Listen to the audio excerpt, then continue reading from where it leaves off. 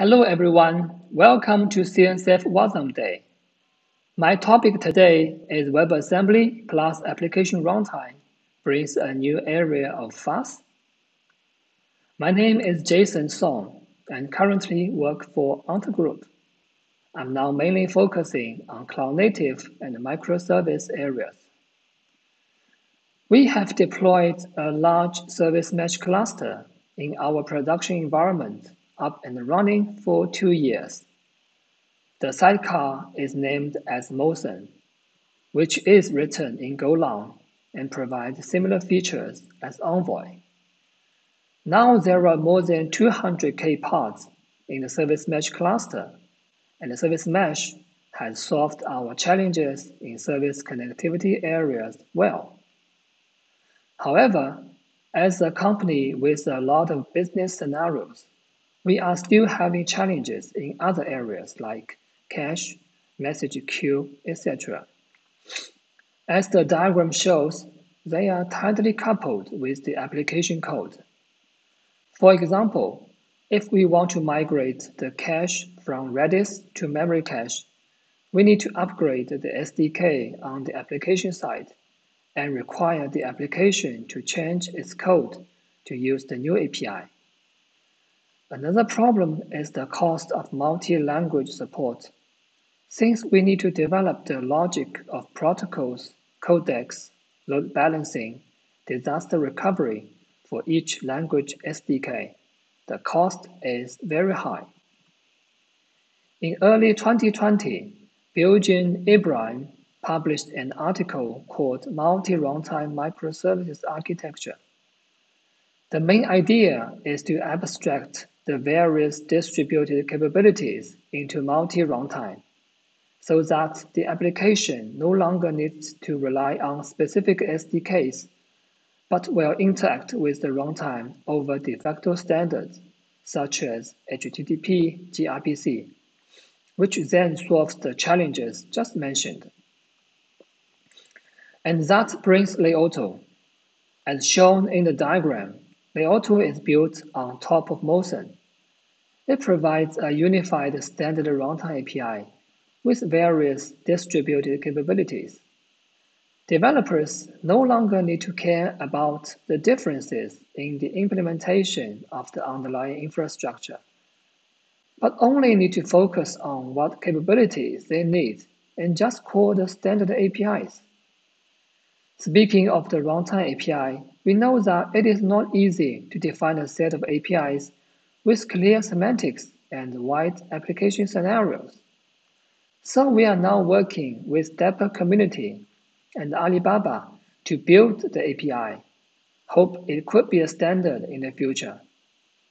Here are some excerpts from the API definition. We can see there are APIs to invoke services, get set cache, publish messages, etc. In addition to normal applications, we are also exploring the FaaS area. WebAssembly, aka WASM, was introduced to web browsers to address performance issues with JavaScript. However, its near-native performance, sandboxing, and portability features also makes it attractive for FaaS scenarios.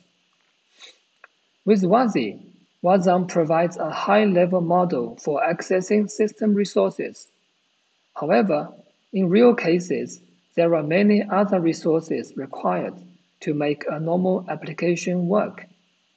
For example, invoke services, get set cache, produce or consume messages, etc. Lack of these features makes it hard to host serverless applications in WASM. As Layotto abstracts a standard API, so we think, why not deploying WASM modules with Layotto so that WASM modules could consume external services via calls to Layotto sidecar.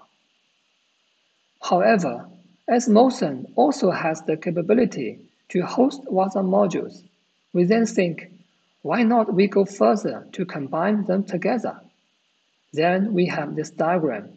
The WASM host, MOSN, and Layotto are all logical components in one process.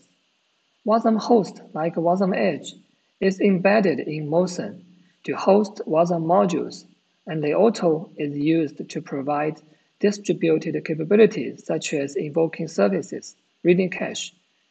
These capabilities are exported to Wasm as ABI, similar to WASI. We wanted to develop a demo to prove this concept. So we did some research and found there has been some exploration about how to integrate Kubernetes with Wasm. The basic idea is to develop a containerd shim plugin so that when it receives the request to create a container, it will hand over the actual creation logic to start a Wasm runtime to host the Wasm module. However, since we want to verify the nano process architecture, so we did some customization. As the diagram shows, we first start a Layotto runtime on the node to serve as the Wasm host and provide distributed capabilities. Then we customize the containerd shim plugin so that when it receives the request to create a container, it will let Layotto run the Wasm module instead of creating a container. With this solution, we could reuse most of the Kubernetes capabilities and yet achieve the effect of running multiple Wasm modules as nano processes in Layotto, and can also take advantage of Layotto's distributed capabilities. We also reuse Docker to package Wasm modules and submit them to Docker Hub for distribution. Here's a demo showing what we've accomplished so far. There are two Wasm functions. The first function receives a HTTP request and extracts the book name from the request. It then calls the second function to query the inventory of the book. And finally, will return the inventory information to us. We defined the invoke service API with function ID method, and param so that Layotto could use this information to locate the function and do the invocation. And here is the second function. When it receives the request, it will use the book name to query Redis for the actual inventory and then return the number to the caller. We defined the getState API with store name and key so that Layotto could find the correct backend store and query the value. Now, let's build the programs to Wasm modules. Then we could use Docker build to build them into Docker images. We also need to register the runtime class to enable our custom container runtime.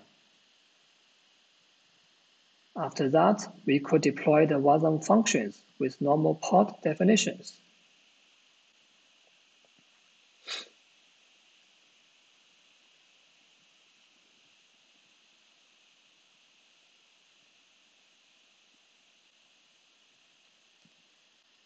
To make the query work, let's pre-configure the inventory to 100. Let's check the function status. Now let's query the inventory for book 1. We can see it works. Let's change inventory to 99. And yeah, it returns the latest value. Cool.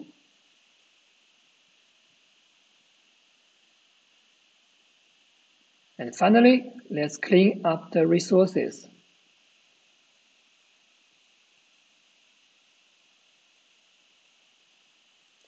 I hope this demo explains our idea clearly.